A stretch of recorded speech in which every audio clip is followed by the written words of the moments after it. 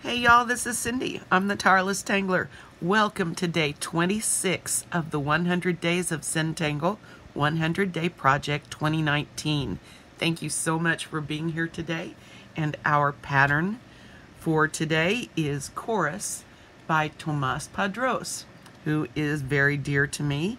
If you guys aren't aware, uh, back when he first came on the scene, I wrote an article on him for uh, my Artist Focus post uh, on my blog, and I will try to put a link to that below.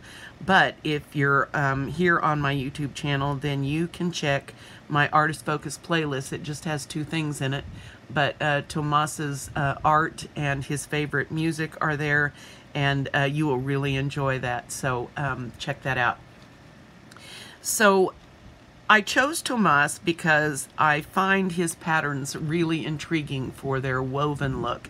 And um, a lot of people struggle with them, and I thought I would choose one that's fairly simple to to grasp. Um, I'm not calling anyone anyone um, uh, slow, but I am saying that these can be sort of daunting and I did a quick um, tutorial on pickpocket that I need to redo uh, but uh, we're gonna do chorus and it's not very hard.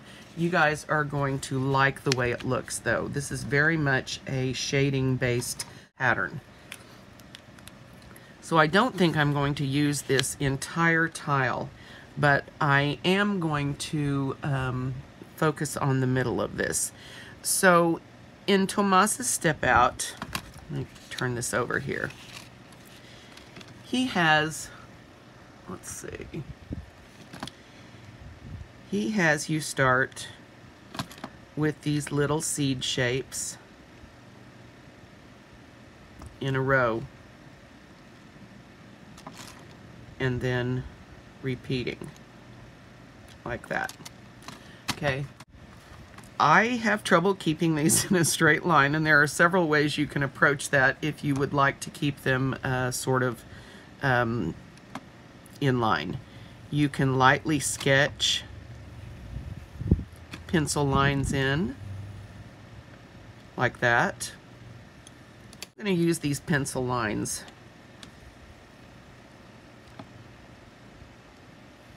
and I'm going to make some of them wider and some of them narrower just to show you um, a different effect. And I'm going to do my seed shapes this way.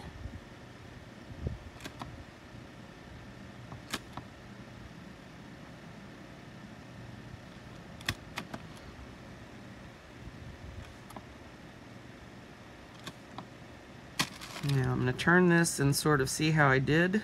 Not bad. So then I'm going to turn it the other direction and I'm going to go back through and finish these off and go ahead and black them.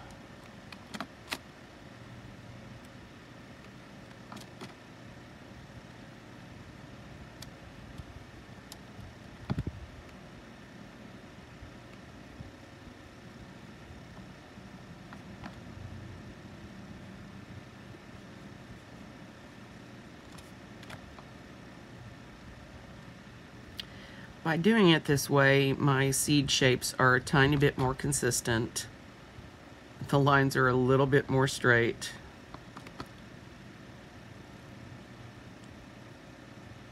And my inner perfectionist is a little more quiet. Though we're learning not to listen to her. He has such a mind for these 3D patterns because of his history in teaching um, high school and college kids, um, technical drawing, that type of thing. And he's just such a such a phenomenal individual. Okay. All right. Interesting. now, step two. Go between your first two columns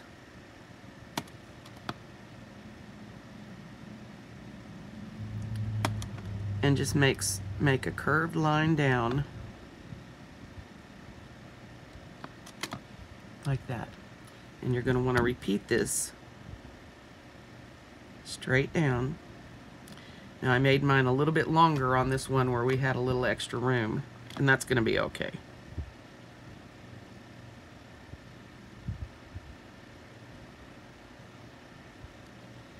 All right that was a little wiggly. You guys get the impression though. All right.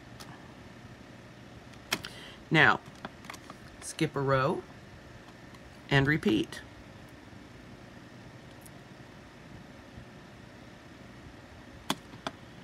Well, this is going to be entertaining.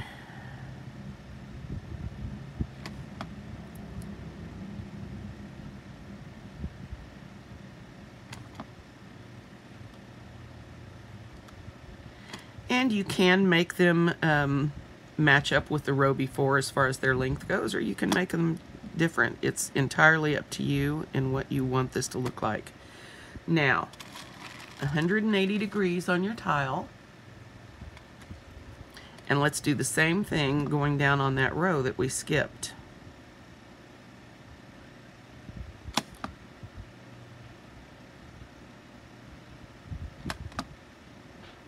Just like this.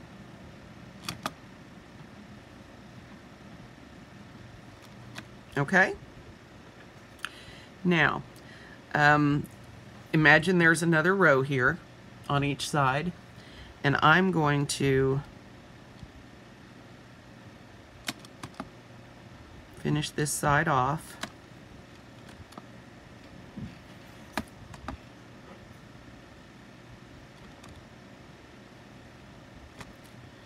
And do the same thing here.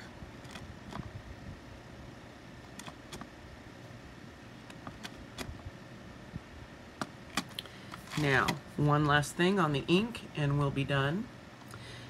Okay, now a lot of you will know how to do this. Uh, some of you may not, so let me just uh, quickly show you. What we're going to do is we're going to connect each of these little funnels um, with, a, with this type of thing. So that it looks like the funnel is going down into uh, this dark hole. I'm trying to remember what other one we did that was sort of like this. Doesn't come to me now. One of the first ones. So you want to finish all of these in so that they look similar to that.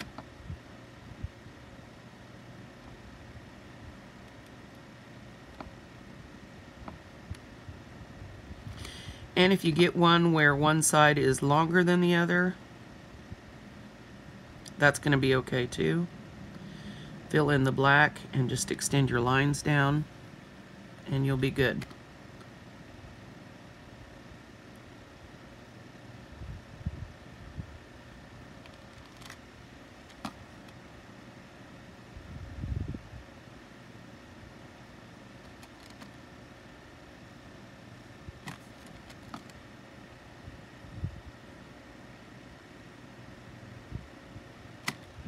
Okay.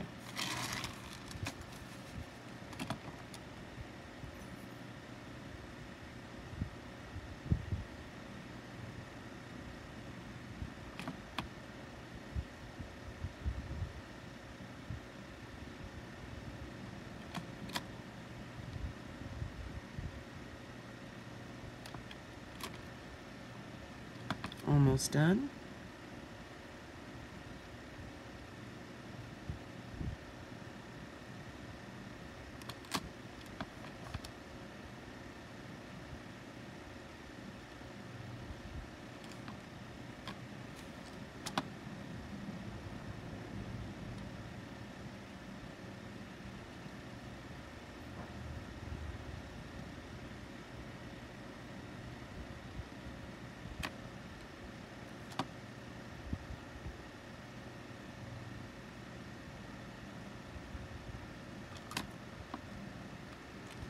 I think I got most of them. Okay, so when we're done inking, we have something that looks like this. It wasn't really hard to figure out, but it does have a cool effect. Now, let me show you what shading does for this, which is a lot. So the trick to shading this is something really easily easy. You're going to shade on each side of the funnel. lay down some graphite. It doesn't have to be a lot. Of course, with me, you know, it's always too much, but I like it.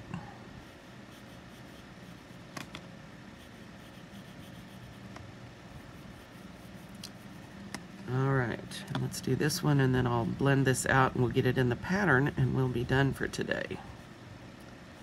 You're gonna wanna check out, check in tomorrow. We're gonna to do another one of Tomàs's patterns. It's going to be a fun one.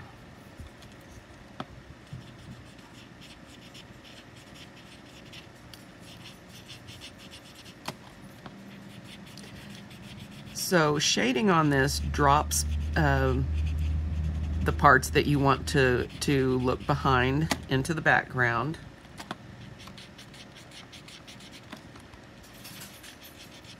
And that's part of one of those funnels. So we shade that. I need to trim off my tortillon. It's getting a little goopy on the front.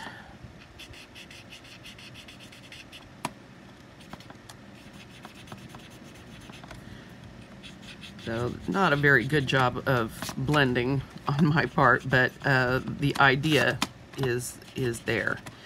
And so you can see what a huge difference that makes in in having this look like uh, the parts are folding behind the funnels. So this is going to be fun. We're going to put it in the pattern now and see what we can come up with. Now, um, we're gonna do this. Still looking for a good grid pattern, aren't I? We're going to do this right here by Batumber. So, I just set it down. One looks pretty good. Yeah. All right, so I am using my zero, whoa, zero one in black now. Bless you, Simba. Simba says hi to Karma. All right, so I'm going to do this, I think I'm going to do this down this way. So, um, I don't know which one I'm gonna use. Starting with your inner auras for separation.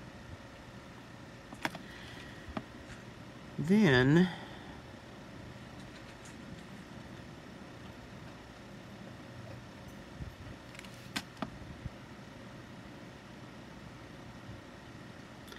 this is not going to give us what we want, is it?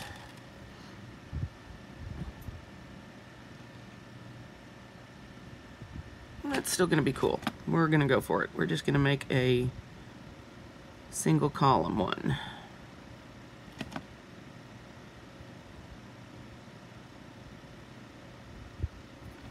And then we'll have funnels that go right down into the next section, which will be okay. That'll be cool. I completely gave up on my method, didn't I? Went right back to the old way.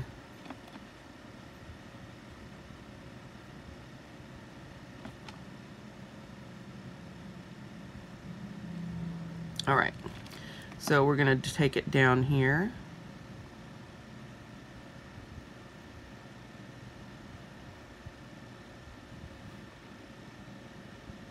This one's gonna be short. Okay, then I'm gonna go ahead and take these up.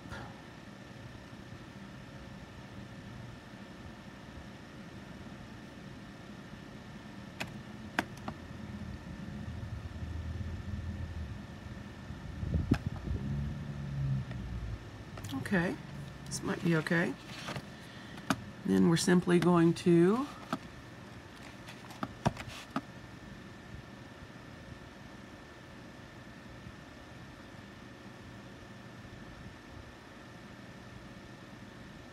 well,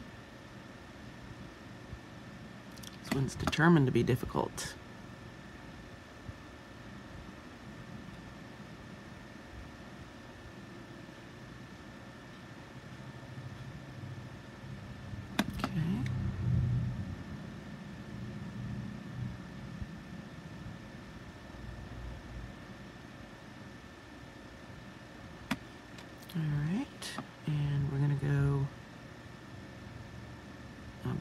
This.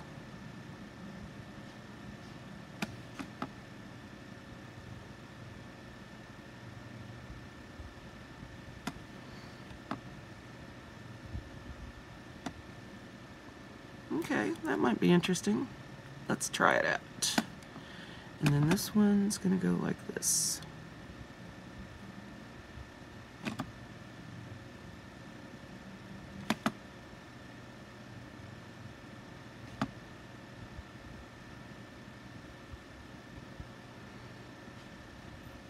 All right. Okay, that's gonna look cool. Let's get this shaded and we will be done. All right, so shading behind your funnels.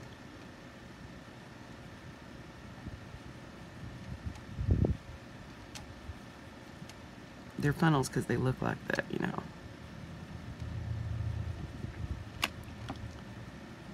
We go. And the way we've got this, we probably won't fit a lot of graphite in, but a little bit will work really well here.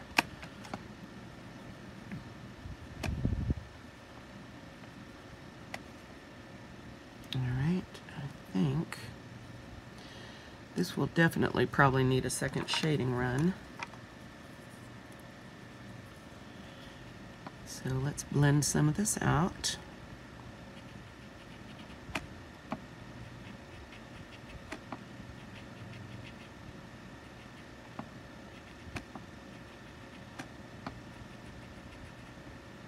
And we'll probably have to grab my mono eraser, my mono zero eraser, that teeny tiny one and give this a go.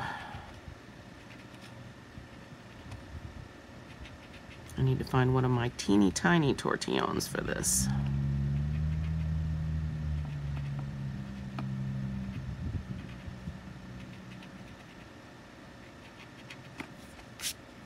Let's see.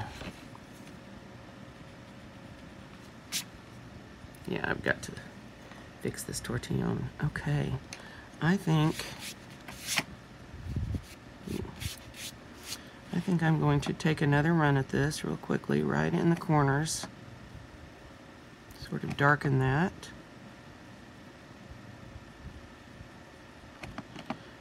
Just right there in the little crease. Give that a little bit more depth.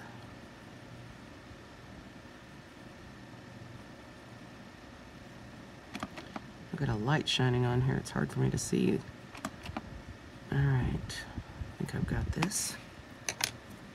So we will gently go over this. It looks like the tooth of my paper is getting a little bit upset over here, starting to peel off. So we'll just very gently rub here.